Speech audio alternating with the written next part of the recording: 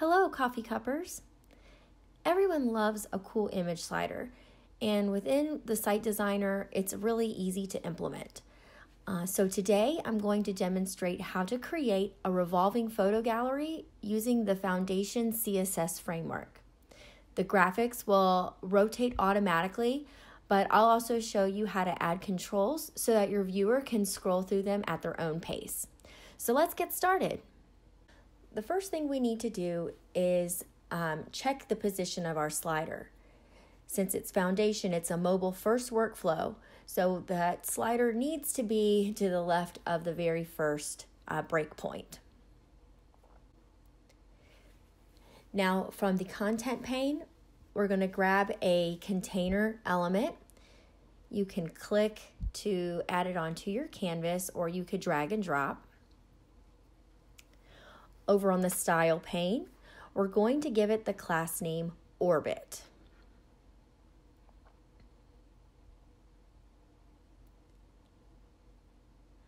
Switch over to the element pane and let's give it some data attributes. The first is going to be role and the value is region. The second data attribute is ARIA label with the value back to school, you could really put anything in that value. And that last attribute is going to be data orbit with nothing in the value. You can leave that part blank. Next, we're going to nest another container element. If you use the element pane, you can drag and drop those containers so that they are nested inside of each other. You want to make sure that the orbit is on top with the second container nested inside of it. On the style pane, we're going to give that new container a um, class name of orbit wrapper. This wrapper is going to hold all of the contents of our um, orbit slider. We're going to repeat that nesting one more time with another container um, element. This is going to be uh, nested as well with the class name Orbit Controls.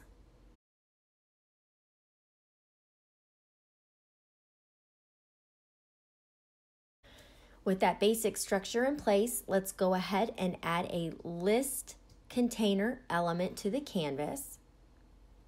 If it does drop into the wrong spot, over on that element pane, drag and drop it so that it is nested within the orbit wrapper container.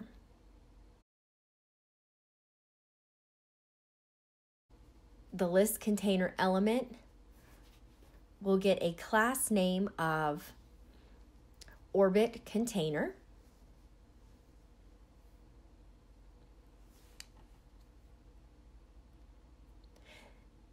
Now, that specific element by default includes uh, three list item containers. Uh, you can easily change that in the selected element properties if you needed more or less. Um, three is a pretty good default so that you can get started. Now, each one of those list item containers, those are going to hold our actual picture elements. So over on the content pane, let's grab a picture element and drag and drop it into one of the list item containers. Again, I like to drag and drop from the element pane itself because I just find it much easier. Um, that's just a personal choice, though. So the list item containers will get the class name of orbit slide, and the picture element itself will get the class name of orbit image. And we're going to repeat this process for all three.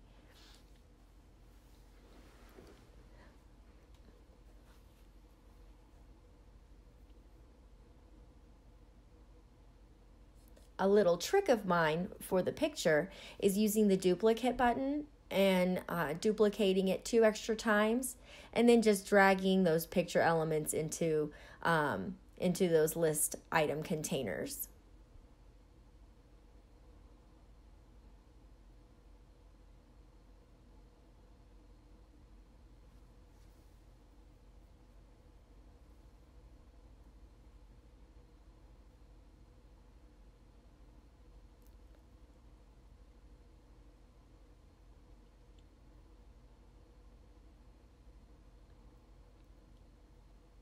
You'll notice once you add the class name to the list item container, the item disappears.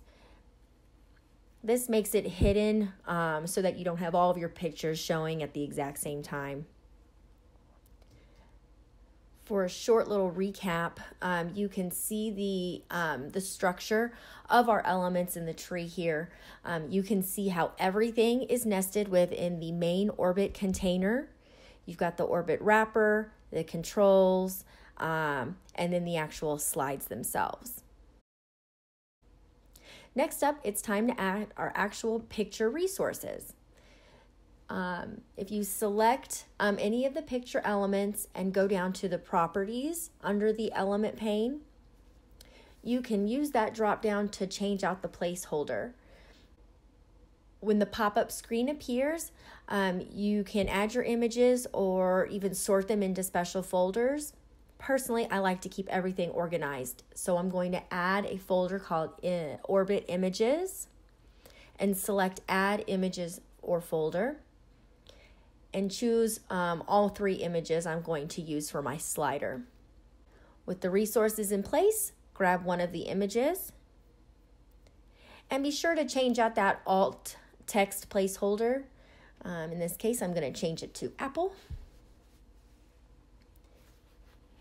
Clicking on the little eyeball on the side um, will bring the hidden item into view so you can see it and style it.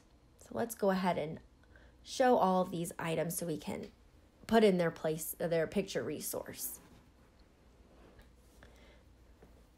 Rinse and repeat here like we did the first slide and change them out with the um, with the proper image.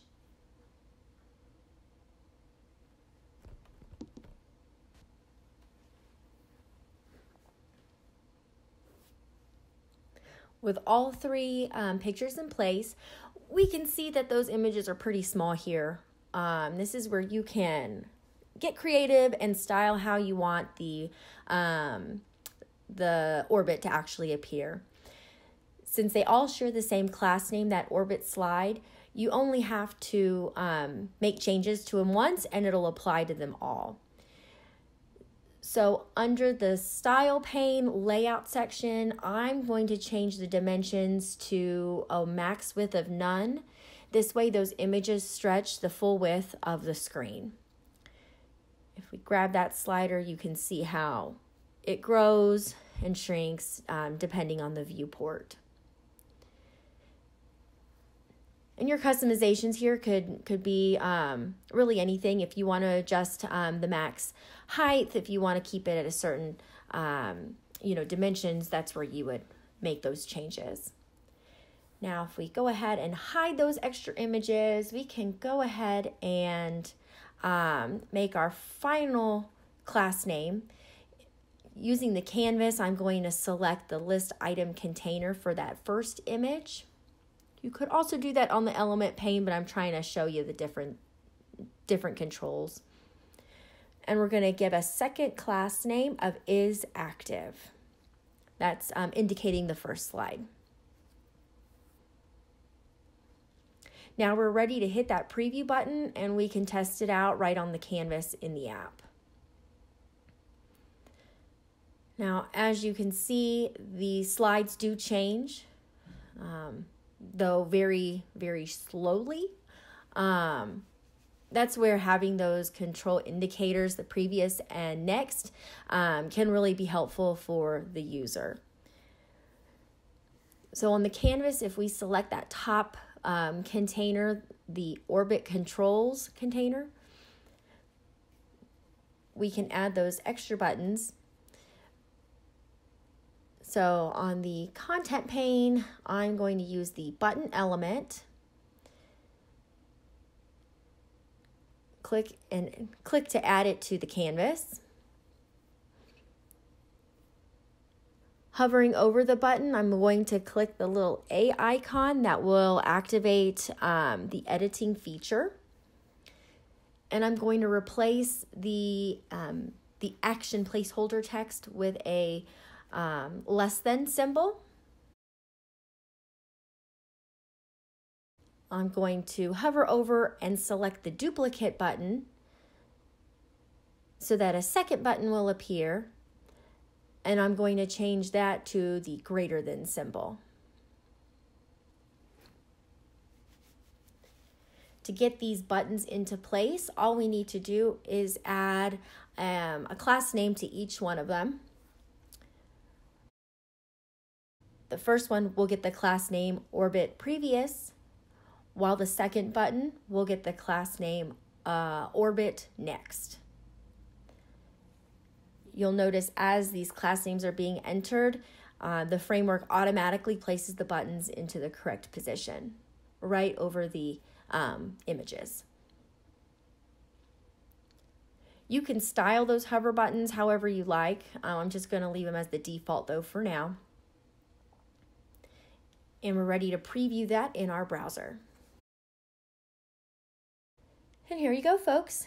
You've got an, Im an image slider um, with user controls. Now, quick bonus round. I'm going to show you how to save um, an item to your component library. If you're just grabbing this project from the um, the article, or you can use this, um, or you can use this with any component that you make uh, within the app. This way, you can reuse them at a later time. On the element pane, be sure that you're selecting the parent container, the parent item for um, the object you want to save. In this case, it would be the container with the orbit class name. With that selected, on the content pane, you'll select components and click the button Create Component from Selection. You'll see an uh, a preview image appear and you'll be able to add in um, custom text to be able to identify um, the component you've created. So in this case, I'm going to name it Orbit Photo Gallery and give it just a short description so that I remember exactly what um, the item does. To add it to your can uh, to your library, click Export to Library or the little up arrow. You can add it to an existing category or you can even create a new category. Um, this way, common um, objects um, are saved together in a, in a nice grouped fashion.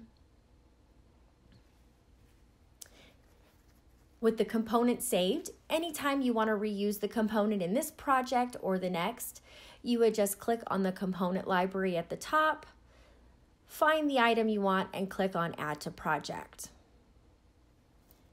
As a quick demonstration, um, if I added a blank page to this specific project and wanted to add the gallery to it as well, on the components, I would just choose the Insert into Canvas or click on that plus arrow to pop it into the page saves you from having to rebuild the same items uh, multiple times. Pretty handy. Thanks for joining me today. Happy site designing!